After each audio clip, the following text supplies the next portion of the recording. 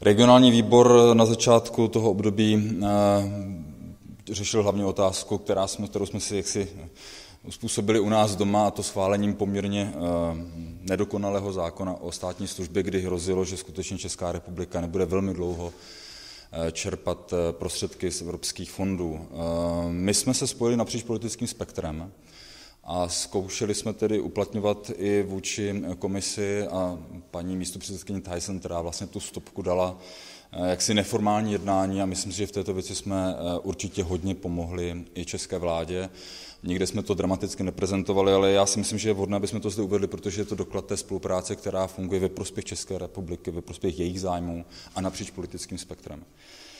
V regionálním výboru je to poměrně ta agenda složitější v tom, že samozřejmě ten má zásadní postavení v okamžiku, kdy se schvalují obecná nařízení o eh, tom, jak se mají čerpat evropské fondy. A my jsme zrovna teďka už v tom mezidobí, kdy schválená pravidla byla v minulém období, eh, takže nyní spíše, jak si děláme výkladová pravidla pro eh, uplatňování například restrikcí ze strany komise, kdyby pozastavovala čerpání evropských fondů, tím se třeba teďka zabýváme jako stínový zpravodaj naší frakce.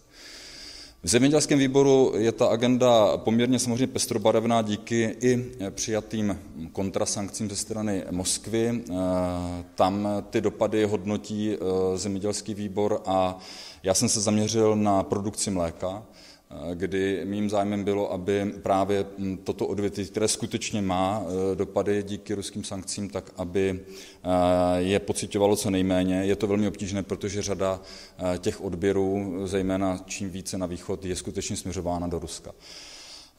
Komise předkládala několik návrhů na to, jak pomoci producentům mléka, Eh, jedním z nich byl i tzv. program Mléko do škol, kde eh, komise původně navrhovala poměrně razantně zúžit tu podporu eh, tomuto programu, a to znamená škálou tzv. podporovaných produktů mléčných. Nám se podařilo usilovným tlakem a vyjednáváním ještě i s dalšími frakcemi nakonec ten seznam nepatrně rozšířit nebo rozšířit o některé zásadní položky, jako bylo například ochucené mléko. Eh, některé z tam bohužel vypadly a nezůstaly tam, ale třeba se podaří na úrovni rady eh, s tím ještě něco udělat. A poslední věc, která si myslím, že by neměla zapadnout, eh, já se i s panem kolegou Štětinou teď poměrně dost věnuji otázce financování politických stran, národních stran v Evropě. Pokud jsou zde určité pochybnosti o jejich financování, zejména z hlediska transferu z Ruska a ruských institucí.